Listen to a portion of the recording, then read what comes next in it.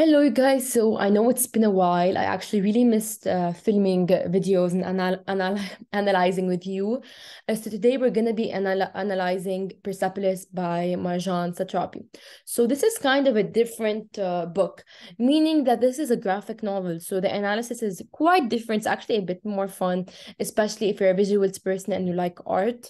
Um, this would actually be really nice for you. So today I'm just going to be like guiding you on how you actually analyze Persepolis and not only how you analyze it, how you like you know see beyond um pers- like um satrapi's words.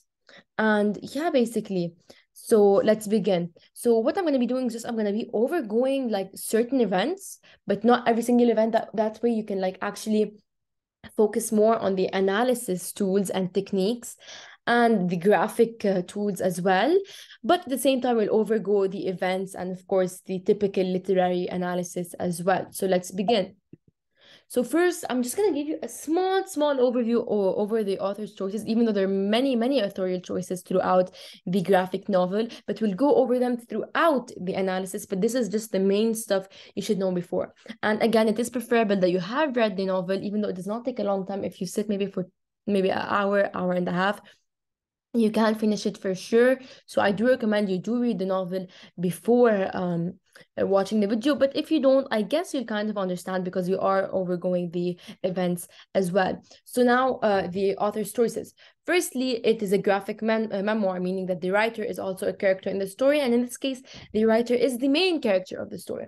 Second it's in black and white. Now the significance of black and white is that black kind of resembles negative and white resembles positive meaning that usually when events are like they have a black background or so this means that this is a certain negative um aspect in satrapi's life whereas white is more of a positive memory in her life meaning that whenever something's like negative or she like correlates this event with negativity and it's like a bad chapter in her life let's say she's gonna put the background in like negative. Maybe when someone uh, in black maybe when someone dies just something sad in her eyes. And then white something like it represents her triumphs her happy moments. So yeah and sometimes it's even a mix uh, and it's it's really used for it's uh, actually well it's used in color symbolism and not only that but it's it's used um, in many ways to juxtapose. And we're going to be talking about the juxtapositions a lot because she does use this a lot to you know highlight many aspects throughout the novel. Uh, and then uh, this is like verbal narration meaning that she's looking back at it like now like basically in the narrative voice um, it's a perspective and emotional response of the author, meaning that she's about approximately 30 years old when she was actually writing that novel. Um, and basically, she's looking back in retrospect to the events. And by retrospect, I mean that with the knowledge she knows as an adult, because as you know, she was a child, especially because we're talking about the first volume of Persepolis she was a child, meaning that she did not completely understand her surroundings and she did understand to a certain extent. But now looking back at it, she has so much more knowledge, especially as an as an adult. And looking in, in res- retrospect, she's gonna be talking about the significance of these events and how they actually affected her and those around her, especially when it comes to the political side uh, of the events. And then the structure and narrative sequence. So basically what Satrapi did, which is again another uh, authorial choice and analysis tool as well, um, is the way she she positions or sequences the certain images. Basically, many juxtapositions happen between these images. And um, what she does is that she uses graphic weight. Now, graphic weight is another um, tool we're going to be talking about uh, throughout the video. Basically, when she may basically elongates one panel more than the other, if she uses a specific sequence, she enlarges one panel, she centers one panel. The way she just puts these panels in a certain page is because she maybe wants us to look at one panel more than the other. Maybe she wants to showcase the importance of a certain event or certain conversation. So that's what she does, or certain theme or certain idea. So basically, she elongates and enlarges depending on um, the message she's trying to convey to us as readers. And the montage is basically when you combine many images to create one effect. And then it's a it's an autobiography of her life. So now chapter one, revealed. So the setting is Tehran, which is the capital of Iran, and it begins at the same time as the Islamic Revolution, which we know was a very important event in Iran because it changed the Iran, especially like Iran we know today is the Iran we know today because of the Islamic Revolution. So, as you know, one of the confusing aspects, especially for uh, maybe young readers, is that um, this a lot of history and politics is embedded into this novel. Um, so basically, in the Islamic Revolution, especially at the beginning, in Iran before that, they did not have to wear the veil. It was not obligatory. But after the Islamic Revolution or, or during it, let's say, it became law, it became a rule that you have to, it's obligatory to wear the veil. And this was, um, this, well, it can be interpreted as a symbol of misogyny and the veil not itself but this event uh, can be interpreted as that. Why so? Because marjan and her mother um, they did not wear veils and many young girls did not wear veils because as we, will see that we talk about that in the next slide but they did not veils uh, so like i said especially young females so they were not fond of wearing them and they didn't understand the reason they had to wear them. So it was kind of very um controversial and there was a lot of um disagreements in the country but the the, the part that was misogynistic about it wasn't the fact that you had to wear it it was the way you you were forced to wear it meaning that these women were threatened with their lives. They were beaten if they didn't wear these veils. And especially the dictatorship that was happening, the tyranny that was taking place in Iran. That's that's why it was seen as a misogynistic thing because these men were forcing them to wear the veils. It wasn't out of their will. And before the revolution, Marjan used to attend a bilingual school, meaning that uh, they used to like learn two languages there. And it was a French uh, school. They learned French and then they learned their actual language and bo- both the girls and boys attended the school uh, but this change they were uh, segregated and we're going to also talk about that in the next panel. Therefore the changes were hard on her and she didn't have a very good view of what was happening and she wasn't very content about what was the changes taking place in her life and then uh, her mother uh, is a feminist icon, suggesting that she's a modern woman who pertains a modern ideology. And we can also see there's always this contrast between the actual uh, revolutionary, uh, the Islamic revolution um, point of view, and then we have uh, Marjan and her family's point of view, which is very modern, very westernized. And then we have uh, the point of view of those around them, and you can just see them juxtaposing the whole time and contradicting each other. And this is this is how we like we get to see the different point of view uh, and this is how we actually get to understand the iranian point of view it's because of the contradictions taking place and then the author is extremely religious and dreams of becoming a prophet uh, the Islamic Revolution and its regimes are making her have contradictory thoughts and questions her uh, question. She, they make her question her ideas on Islam, which is ironic. Furthermore, it falls under the theme of identity. Okay, so basically, this is actually very like this is actually the kind of the the main point, at least in the first half of the novel.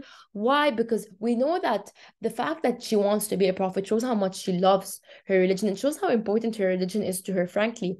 But the thing is that the Islamic Revolution, this this highlights the fact that the Islamic Revolution isn't they, they're using the word Islam as a way of propaganda. Why? Because they're saying this is Islam, you have to do it. And because of the people, they love their religion, they're forcing these people to omit to certain rules that aren't particularly particularly linked to Islam, but they're using it as an excuse. They're using it as a disguise for them to actually do what they want, which is actually propaganda. And they're making little Marjan um, confused about what she believes in and whether um Islam is what she really wants to be a part of. So now we're going to begin with the graphic analysis and teach you bit by bit.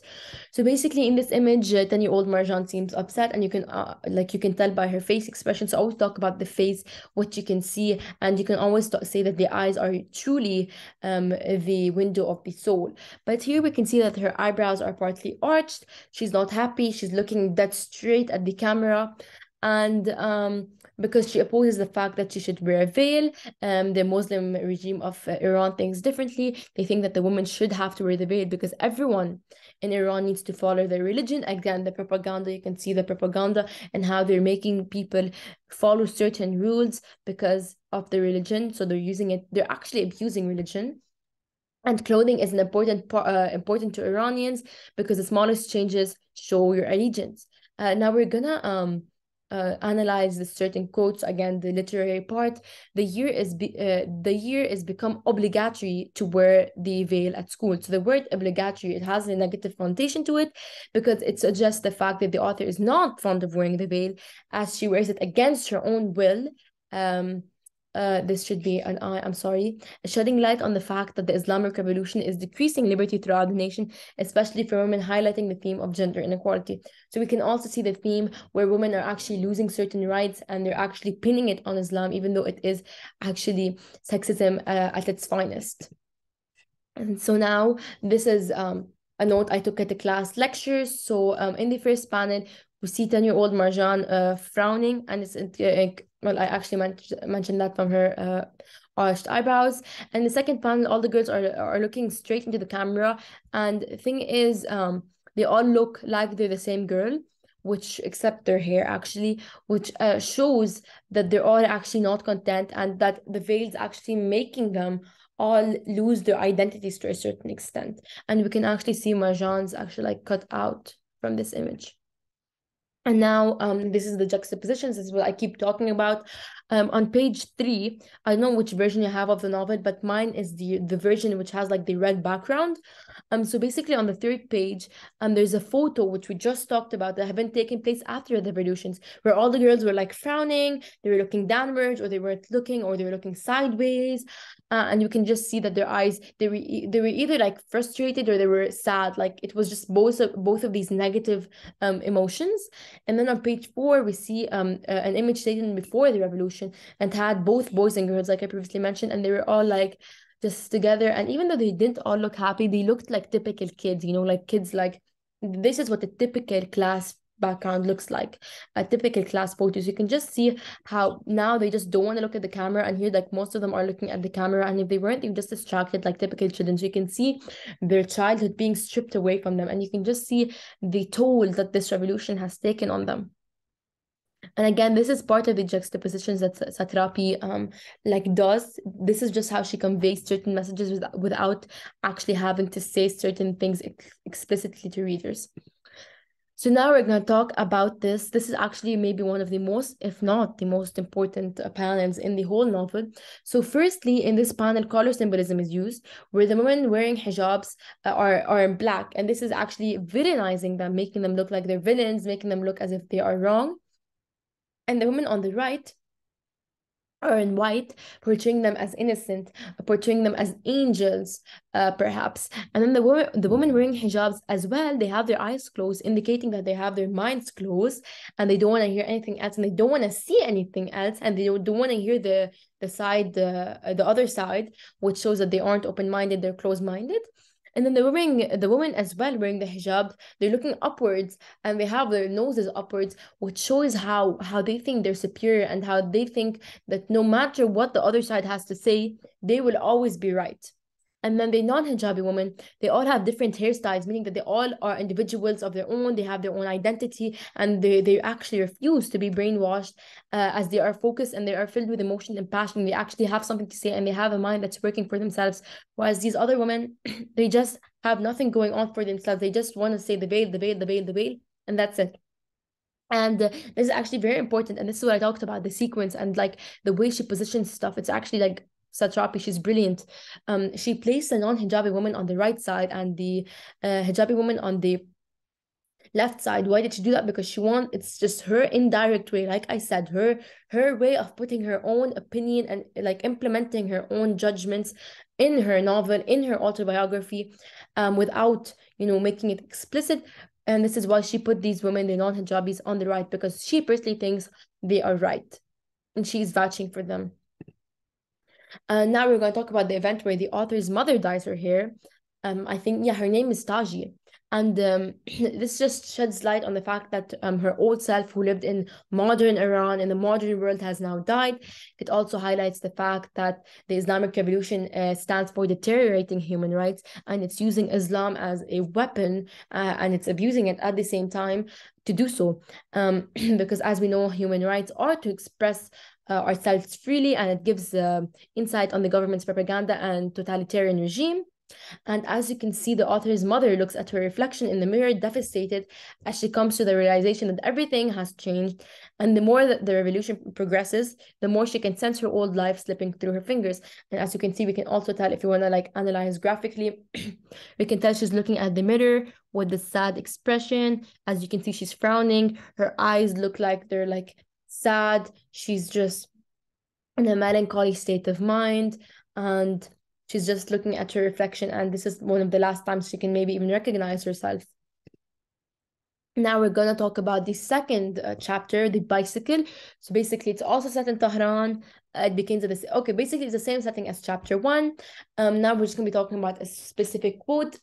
so I put my uh, prophetic destiny aside for a while. So this is said uh, in page ten as well. If you have the red book, this quote highlights the propaganda and tota-, uh, totalitarian totalitarianistic regime of the government due to the fact that, the, that during the Islamic Revolution, Religi- uh, religious individuals like Marja are putting their religion aside in order to prioritize other aspects of their lives that are falling apart due to the government's regime. Therefore, it's ironic that the Islamic Revolution is the Islamic Revolution, but it's actually parting the nation citizen from the religion of Islam, and it's actually promoting things things uh, that are against Islam. So you can just see the irony and uh, the propaganda taking place. Furthermore, in this chapter, the theme of importance of education is introduced as it can be deduced by readers that the author is able to understand complex events that are taking place around her due to her knowledge, that uh, due to the knowledge that she is having access to through books. So again, many themes are highlighted because again, this is a coming of age novel. This is a uh, um, this is a biography of her life, especially when she was a child. And when you're growing up, there's many many things going on in your life. especially during this like certain event where she's actually during a historic event that actually altered a country's history maybe even other countries histories but of course mainly iran. So you can just see um how um different aspects of her life are changing while the while, and how politics is affecting it so now we're gonna talk about this panel. So the revolution is like a bicycle. When the wheels don't turn, it falls. So basically, this is a simile, uh, which is comparing the revolution to a bicycle and uses the comparison tool like. I always talk about comparison tools uh, like um, and as. And this is the same thing here. In a deeper sense, the author means that if the people do not start moving towards making changes, no change will take place, and the events that are taking place will continue to take place, uh, such as the abuse, um, the totalitarian regime, and all of these things. In addition, the bicycle is a symbol of the revolution as an effort needs to be exerted in order for it to actually move or else the bicycle will end up falling. The same applies to revolution, thus making it a symbol. Moreover, we can interpret from the quote that the author is an extremely wise individual despite her young age, as she is able to understand the components of a successful revolution, despite many individuals who are older than her age who are not able to. So, okay, so this is very important because many people who are older than Marjan, uh, because she's very young, you know, uh, that are actually participating and active in this revolution, whether uh, whether actually despite any of the sides they're in we can know that marjan has such an insightful outlook because she is educated to it. We just like kind of this is just like on the side. You just kind of learn how important education is. And not only that but they do talk about in the novel and maybe it's in the uh, in the these slides that i have prepared but we do they do always talk about how they make uh, young men and they actually started closing universities uh, and making them not attend and uh, not continue their education not pursue and uh, their education because because they don't want them to be educate, uh, educated because education is the key to everything. It helps people fight it helps them see the world in, in a more you know um holistic point of view. Therefore we also get to see how important it is to be educated and how easily it, it for it is for a person or individual to be brainwashed when they're not. So education is a key weapon that every person needs in their life. Uh, and also a symbol of a bicycle, it basically takes a lot of riders to keep it going and they have to be in sync. If one person stops, the whole thing is going to trip over, tip over. So basically the whole point is that many people need to be in this, uh, need to be in it together in order for the revolution to actually be successful. And this is actually like, uh, um, it, it's just an like illustration of the simile. It just like gives, uh, a point like it just explains it technically and all that but we do know that this is a graphic novel so everything is explained using literature and non-literary elements so both and now um, we're going to be talking about certain concepts. Again, like I said, politics is deeply ingrained in, uh, throughout this novel. And there are many concepts that one might not be familiar with, especially if, if they're not really uh, into history and politics. So basically, uh, dialectic dialectical materialism is a way of understanding reality, whether it's uh, through thoughts, emotions, or the material world. This is important because, as we mentioned in the novel, the book uh, Dialectical Materialism is the author's favorite book. This can be emphasized or confirmed when, when she says, For revolution to succeed, the entire population must support it. And this is on page 17. This quote indicates that the author has a good understanding of what's happening around her, as she, I, I, she's able to identify the flaws in the people's actions, such as the lack of strength or even the, the most important thing is the lack of commitment because many people are not committed to the to actually like stopping what's taking place. And now we're going to be talking about the water cell. So basically um I'm going to also be introducing some concepts because, like I said, there's many complicated concepts throughout this novel. Uh, basically, putsch is a uh, the definition is a violent attempt to overthrow the government, uh, and the Bolsheviks are radical far left and revolutionary movement founded founded in the Marxist ideas. And actually, um, Marxism um, is uh, deeply talked about throughout the novel, and it's it has to do with um, sociology. And he was technically a sociologist who a soci- um, Marx was a, a sociologist who who actually created um, the concept of communism. And he was actually found crazy and he was kicked out of several countries and he was homeless and uh, he had many, many problems. That's more in the realm of sociology. But he did the, the most important part we should know is that he was the creator of communism and he's deeply talked about throughout uh, the novel, which is very uh, important. The event where the author states that her, uh, states to her parents that she believes the king was chosen by God, and her father tells her that's what they say.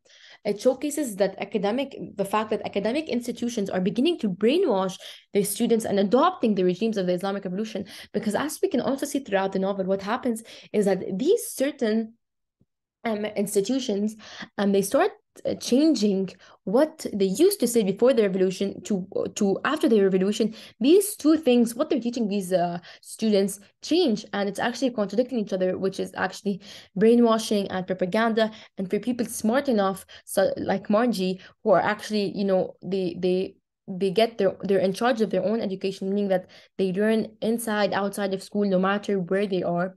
These are the type of people who are able to see right through um such uh, propaganda but others are not. So this just shows how um, education is also uh, vastly vastly vastly affected by um, by the uh, political events taking place and it suggests uh, that there are various reasons uh, for the events that are taking place, as well as it suggests that the other side is wrong and there's a dispute on who is right.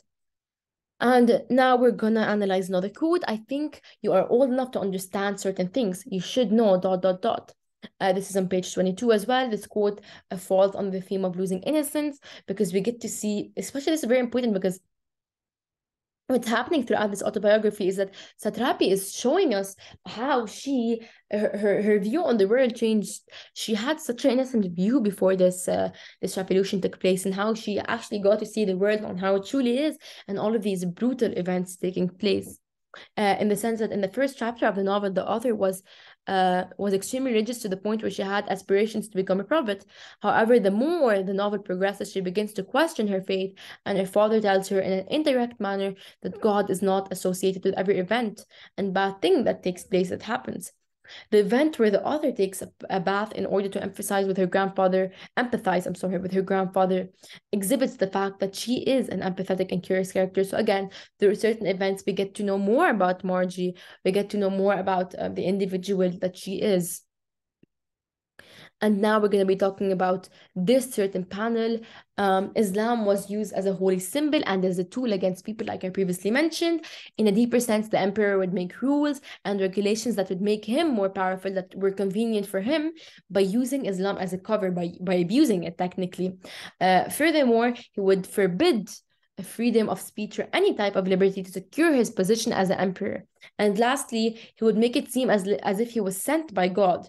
Thus, his citizens will view him as a god, as if uh, as he as if he can do any. Uh, if, I'm sorry, as if he can do no wrong, and they will not question any of his decisions. Decisions, and he will uh, have to be, and they will have to be content with living in an oppressed manner while he lives in a luxurious and comfortable life. So basically, this is just this basically just shows how propaganda was taking place and how uh, ba basically people were brainwashed into giving um, the emperor out of the power that he wants in order to make in order to make all the decisions that he wants to do for him to get as much power as he wants to and then chapter four, we're just gonna analyze one uh, quote.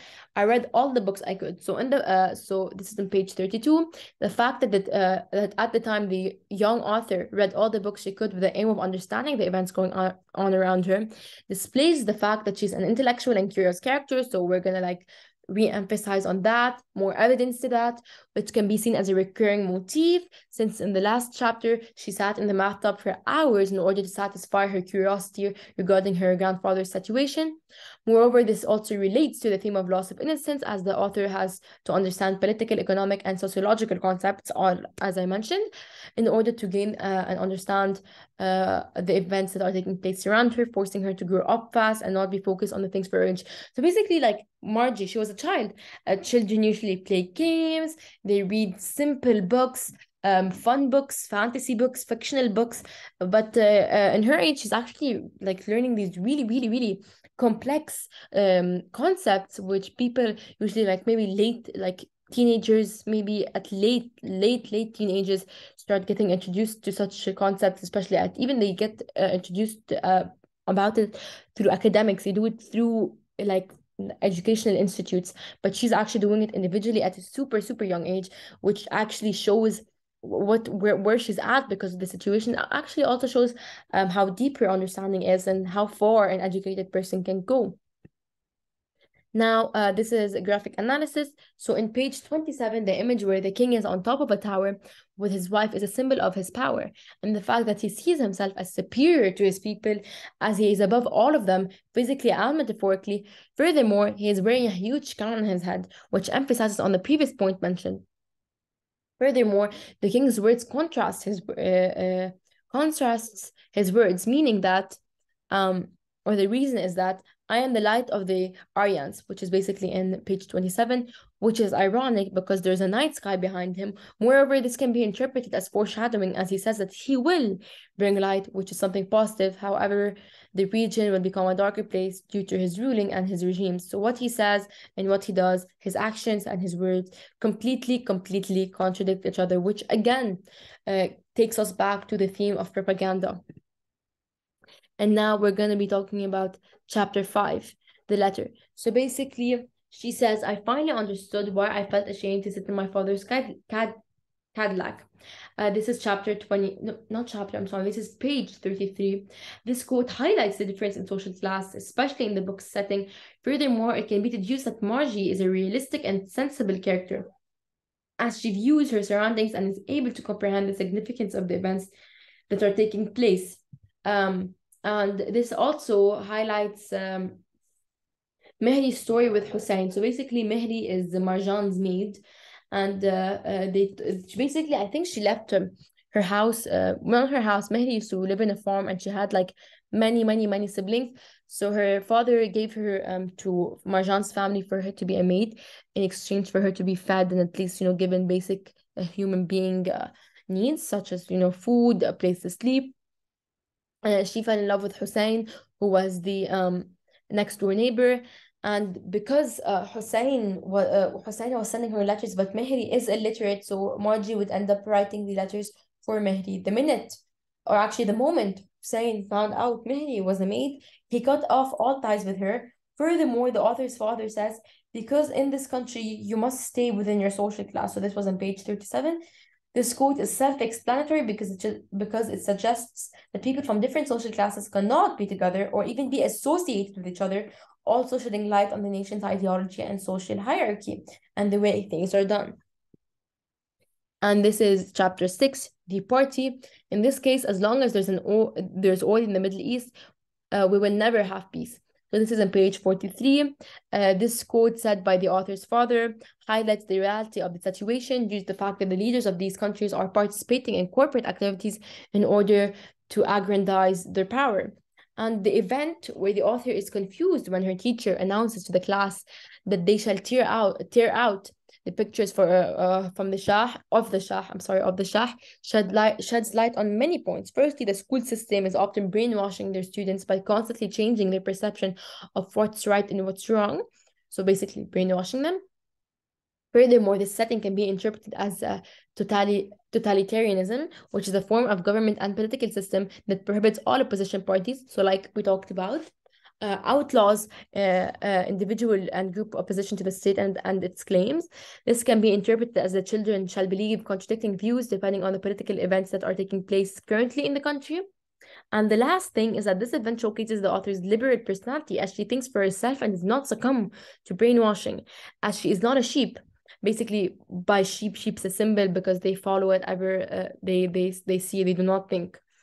Her reaction juxtaposes her classmates' reaction, as her classmates did not question, they just followed what was said by the teacher, however, she did. Uh, Ramin, whose father killed many individuals, is a representation of Iran.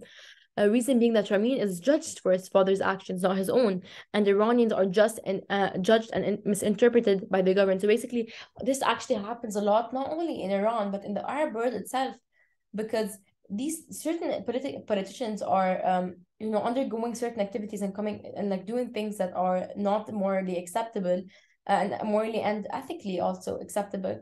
However, they are, however, these people are being judged by the actions of the politicians, and this is uh, uh, shown and uh, as an example through Ramin.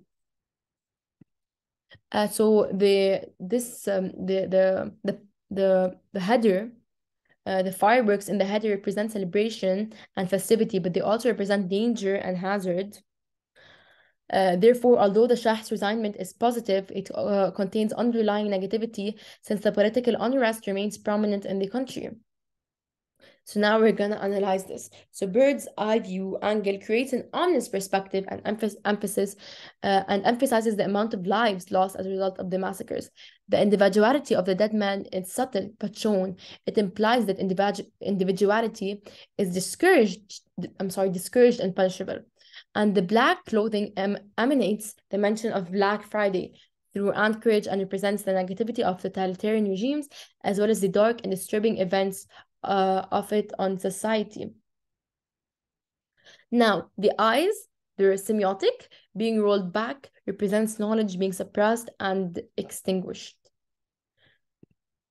So now we're just gonna like, because this is all about the Shah, so I'm not gonna focus that much on the Shah, but I'm gonna focus more on next chapters as this video won't end. So let's go to further analysis. So we're gonna jump all the way to the passport when they're leaving. So basically, the significance of the banner. So the image reflected in the banner and the title of the chapter are somehow ironic as it plays a role in foreshadowing the purpose of this section and allows the reader to realize the ironic meaning hidden behind the passport, which is illustrated. So the passport, the passport itself, it is, uh, represents Margie's freedom, and it's the most important symbol. Margie encounters a number of uh, uh, bureaucratic obstacles when she applies for the passport that she is unable to get. These obstacles stand for the limitations imposed by tyrannical dictatorship on her freedom and identity. So now let's go to these panels. We're gonna, because I realize that we're just talking about the literary analysis, but I need to delve more into the language, more into the graphic analysis. So in the first panel uh, here, um, the narration box indicates a setting where the main topic of the discussion in, uh, is martyrs. This may be manifested as a foreshadowing for the future I'm sorry, for the future events as Uncle Tahir dies as a result of the tota-, totalitarian regime of the Iranian government. And the same applies for martyrs who lost their lives due to the internal war. In the second panel, in this one, Uncle Tahir and his wife exchange looks, both of them having disappointed looks on their faces. His wife is disappointed because Uncle Tahir is smoking, uh, and this is suggested by the fact that the color of the smoke from which the cigarette is black, illustrating her point of view, like I said, negative, positive, illustrating her negative point of view, uh, which using color symbolism, which is associate, which means that she associates cigarettes with negativity. Uh, so basically, then there's a transition to the third panel, uh, uh where the, there's like a moment to moment transition. Um, in the fourth panel, the graphic weight is utilized by Satrapi in order to depict, I'm sorry, to depict Uncle Tahir's perspective on the use of cigarettes as the colors used juxtapose the panel above, as the background is black and the cigarettes are white, showcasing the contrast between his and his wife's perspective. So you can see what, what I meant by all of this, to like summarize it, is that Uncle Tahir, now we're seeing things from his wife's point of view the smoke of the cigarette's black because she thinks it's something bad. Uncle Tahir is like uh, deteriorating his health. Whereas here it just shows Uncle Tahir alone and shows that the flames of the cigarette are white, showing that it's something positive for him and helps him forget about all of the stress he's feeling due to the uh, state of the country, which is again a juxtaposition. And uh, here in the first panel, Uncle Tahir is complaining about the fact that he's not living with his son while blaming his wife simultaneously since she did not want to leave her country and family. His body language, where his arms are raised, demonstrate his anger, his frustration, uh, the fact this they just help us like visualize the moment and just see the tone. And then in the second panel, everyone is looking at Uncle Tahir except his wife um, because she's not able to see her husband in such a devastating state. The fact that the cigarette is black in this panel reveals that it's correlated with negativity in everyone's point of view, excluding Uncle Tahir.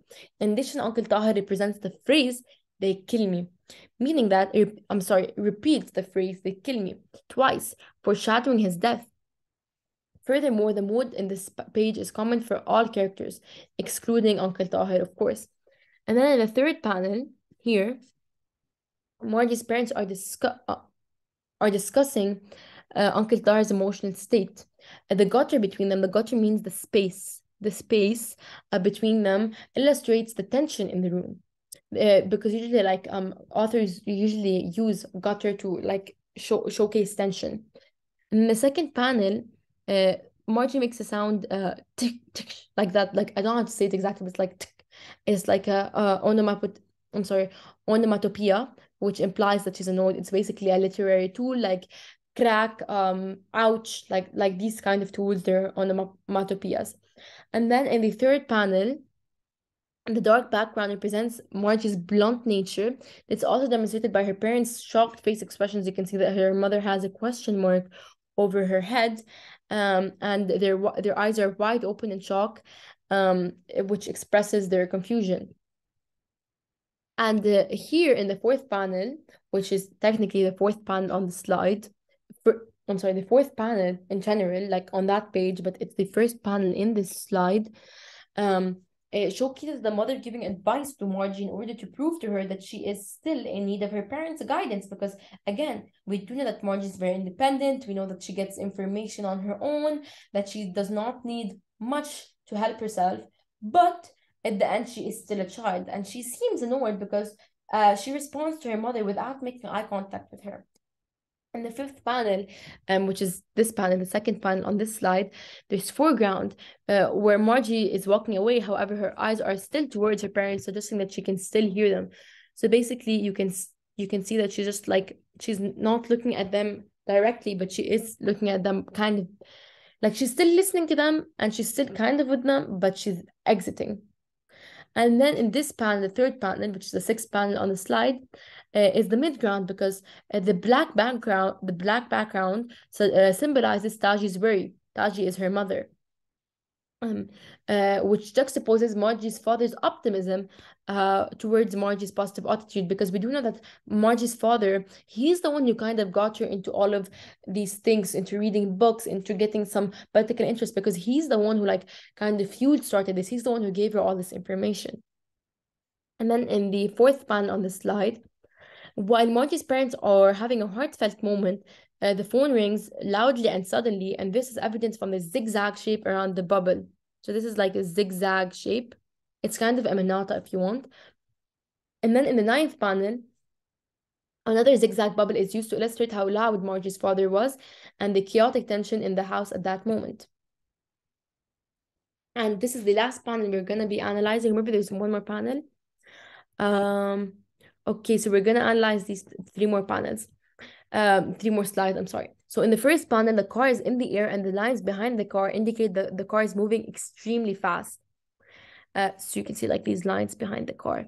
And then the second panel, which is elongated. So this is like a, uh, another tool used by Satrapi suggests that uh, that the, uh, that the event taking place highly altered Margie's psychological state, and the typo typography used, uh, where the man says "give blood" like all in bold, suggests the urgency and the anxious and chaotic atmosphere. In addition, the fact that Margie and her parents are still standing behind the ambulance displays how helpless they are in the situation. The fact that they really can't do anything about it.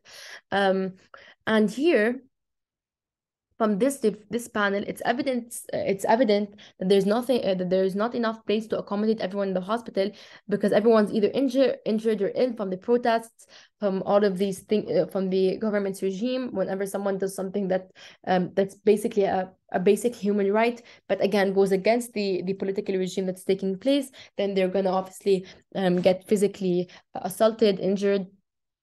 So as we can see, people are scattered everywhere. Uh, and this can also refer back to the, the chapter 13 of the book, which is the key, where it's mentioned where it's mentioned, like I talked about before, that young boy young men or young boys are brainwashed into believing that there's a plastic key they would receive for, for going to war. Okay, so basically in the key it was mentioned that um basically young boys were given plastic keys and they were told that if they go to war but with this plastic key was given the ability to go to paradise to go to heaven and they'd have everything they want there. So basically, this is again when un- un- uneducated people, especially people from lower classes, which don't have money, like because Marjan was privileged at the end of the day, and it does man it is mentioned that her father does have a, cat a Cadillac. So we're just saying here how um these boys were brainwashed it just talks about how when people end up injured and having their lives deteriorated because of this um totalitarian political regime now here, this panel, and the first panel, the walls of the hospital are light. The reason being that the hospital is supposed to be a place where people are healed or saved from death, which symbolizes life. As we know, uh, there's this quote that a hospital has heard much, much more prayers than the actual church. Yet all the individuals in this panel are wearing black, reflecting their pessimistic mood and even foreshadowing for further events. On the second panel, uh, on the second panel, the panel is elongated, uh, showcasing that there's a major event. In the speech bubble, there are many, many ellipses uh, as she's taking deep breaths as she speaks. As you can see, there's many, many like lines here. Dots, I mean, there's many dots. She's taking deep breaths as she's crying because she can't constantly talk because she's crying. And then in these three panels here, they all all shed light on the major theme of uh, uh, one of the major themes in the graphic novel, which is the totalitarian regime of the Iranian government, which we mentioned constantly throughout the video. Part of this regime includes abusing religion and using it as a way to brainwash individuals, and the fact that the man says, "If God, if God wills it," meaning that he's he's trying not to give her an answer, he's trying to just like, uh, in a sense, shut her up, keep her quiet. So he just said, if God wills, he just throws it on God and uses because he he knows that everyone is religious, so he just uses religion against them. That way they can't say anything about it. It's a power play rather than a devotion to his religion. Like I said, this point is emphasized when uh, Uncle Tahir's wife says all that all that creepy window washer had to become a oh, all that creepy wisher, window washer had to do to become a director was grow a beard and put on a suit. So basically, as you can see, everyone um now doesn't ha- does not have to be educated. They don't have to do anything. All they have to do is just um abuse their religion, um um succumb to the basic um basically uh, like propaganda to the to the propaganda to the to, to the totalitarian regime of the government and you know what? They'll get what they want. Uh, and this just shows the frustration.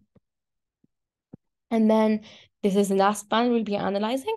So in these two panels uh, which juxtapose each other um, as the wide-out view of her parents represents who they truly are whereas the second panel makes her mother seem unrecognizable in Margie's words.